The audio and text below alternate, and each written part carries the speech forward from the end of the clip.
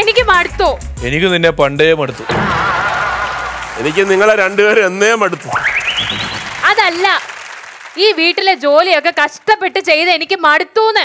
അല്ല അടുക്കള കടന്ന് ഇത്രമാത്രം പണിയെടുക്കാൻ എന്താ അവിടെ അതിനകത്ത് വാങ്ങിച്ചു വെച്ചിരിക്കുന്നത്? മാ ഇത് പഴയ കാലമൊന്നുമല്ല ഇപ്പൊ സെറ്റപ്പ് ഒക്കെ മാറി. മല്ലിപ്പൊടി ഇട്ട് വെക്കാൻ പാത്രം മരിപ്പൊടി ഇട്ട് വെക്കാൻ പാത്രം പഞ്ചസാര ഇടാൻ ഒരു വലിയ പാത്രം. ഇതൊക്കെ ഞാൻ മേടിച്ചു വെച്ചിട്ടുണ്ട്. അല്ല. അതിനകത്തൊക്കെ സാധനം ഉണ്ടോ ഇല്ല. ഇപ്പോഴാണ് ധർമ്മജന്റെ വില ഞാൻ ശരിക്കും മനസ്സിലാക്കുന്നത്. ആ ഇന്ന് രാവിലെ പത്രത്തിൽ കമ്പോള നിലവാരത്തിലുണ്ടായിരുന്നു ധർമ്മജൻ കുന്റലിന് നാനൂറ്റി നാൽപ്പത് രൂപ എന്ന്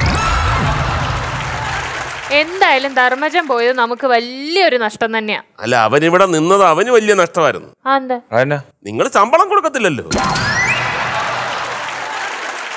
എന്തായാലും ഇവിടെ ഇപ്പൊ ഒരു സർവന്റ് വളരെ അത്യാവശ്യമാണ്.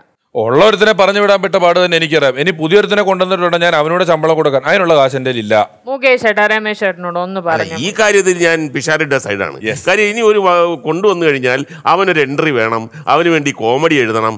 ഒരുപാട് ലേറ്റ് ആവും. ഇതാവുമ്പോൾ നേരത്തെ വീട്ടിൽ പോകാമല്ലോ ഷൂട്ടിംഗ് കഴിഞ്ഞിട്ട്. നിങ്ങൾ രണ്ടുപേരും ഇനി ഒന്നും പറഞ്ഞിട്ട് കാര്യമില്ല. എന്തായാലും ഞാൻ ഇവിടെ സെർവന്റ് ആയിട്ട് നിൽക്കാൻ മധുവിനെ വിളിച്ച് പറഞ്ഞു കഴിഞ്ഞു. മധു ആണെങ്കിലും ഉമ്മറാണെങ്കിലും ഇവിടെ ഒരു ജോലിക്കാരനെ വെക്കാൻ ഞങ്ങൾ സമ്മതിക്കുകയല്ല. ഈ കാര്യത്തിൽ നമ്മൾ ഒറ്റക്കെട്ടാണ് നിൽക്കണം നമ്മൾ ഒറ്റക്കെട്ടാണ്. ഇവിടെ ജോലിക്ക് ആരെയും വേണ്ട.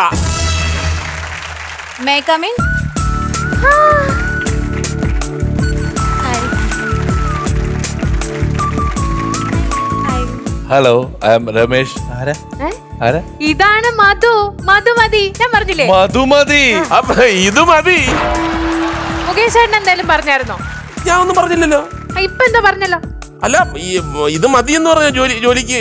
ആ പിന്നെ നിങ്ങളല്ലേ പറഞ്ഞത് ഇവിടെ ജോലിക്ക് നിൽക്കാൻ ഇപ്പൊ ആൾ വേണ്ടാന്നോ?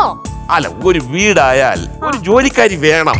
ആ ഞാൻ എന്ന് മാത്രമല്ല ഓ, ആ കഷ്ടപ്പെട്ട് ജോലിയെടുത്ത് ഒരു കുടുംബത്തെ പോറ്റാൻ വേണ്ടി ഇവിടുന്ന് കൊണ്ടുപോകുന്ന കാശ് വെച്ചിട്ട് ചിലപ്പോൾ അവരുടെ വീട്ടിൽ എന്തെല്ലാം പ്രശ്നങ്ങൾ കാണും. അത് വേണ്ട അത് പറ്റില്ല എന്ന് പറഞ്ഞാൽ അത്ര കഠിന ഹൃദയനല്ല ആര്യ ഞാൻ. അയ്യോ.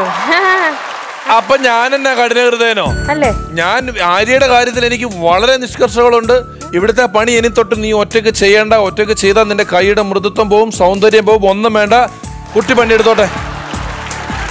അപ്പൊ മുകേഷ് ഏട്ടൻ പറഞ്ഞതോ ഇനി ഒരാൾ വന്ന അയാൾക്ക് എൻട്രി പഞ്ച് എഴുതണം എക്സിറ്റ് പഞ്ച് എഴുതണം മെനക്കെടാന്ന് പറഞ്ഞില്ലായിരുന്നോ?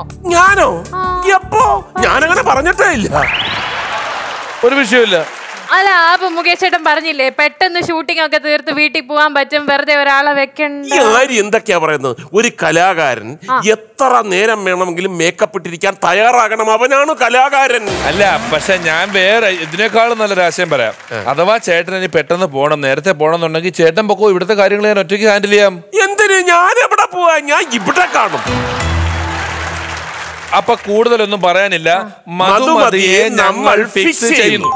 അയ്യോ ഫിക്സ് ചെയ്യാൻ വരട്ടെ. ഞാനൊരു കാര്യം പറയാൻ വേണ്ടി വന്നതാ. എനിക്ക് ഇന്നലെ ഒരു ജോലി റെഡി ആയിരുന്നു. അപ്പൊ അതിന് ഞാൻ പോവായിരുന്നു അപ്പൊ അത് വന്ന് കേറി പറഞ്ഞിട്ട് പോകാന്ന് വരുത്തി വന്നതാ. അയ്യോടാ അപ്പൊ ഇവിടെ കുറെ ജോലി വെച്ചാൽ ഞങ്ങൾ ഭയങ്കര കഷ്ടപ്പാട്. ഇവിടെ ഒറ്റയ്ക്ക് ഒരുപാട് പാടുപെടണം. അയ്യോ നിങ്ങൾ വിഷമിക്കണ്ട. ജോലി ചെയ്യാൻ ഞാനൊരു കുട്ടിയെ റെഡി റെഡിയാക്കിയിട്ടുണ്ട് എന്റെ മൂത്ത അമ്മാവനാ നാരായണൻ കുട്ടി മൂന്ന് നേരം ഭക്ഷണം കൊടുത്താൽ മതി. പട്ടിയെ പോലെ പണിയെടുത്തോളൂ അപ്പൊ പിന്നെ ഞാനെന്നാ പൊയ്ക്കോട്ടെ ശരി, ഓക്കെ മുകേഷ് ചേട്ടാ ശരി എന്നാ. ഓ ശരി ശരി. Bye bye bye bye bye അപ്പൊ നാരായണൻകുട്ടിയെ ഫിക്സ് ചെയ്യാം അല്ലേ? പട്ടിയെ പോലെ പണിയെടുക്കുന്ന പറഞ്ഞത്. ഇവിടെ അങ്ങനെ പട്ടിയെ പോലെ എടുക്കാൻ മാത്രമുള്ള പണിയൊന്നും ഇല്ല. നിനക്ക് ചെയ്യാനുള്ള ജോലിയെ ഇവിടെ ഇവങ്ങളവരുള്ളൂ ഇവിടെയുള്ള ജോലിയൊക്കെ നീ തന്നെത്താൻ അങ്ങോട്ട് ചെയ്താൽ മതി. എന്റെ പട്ടി ചെയ്യും.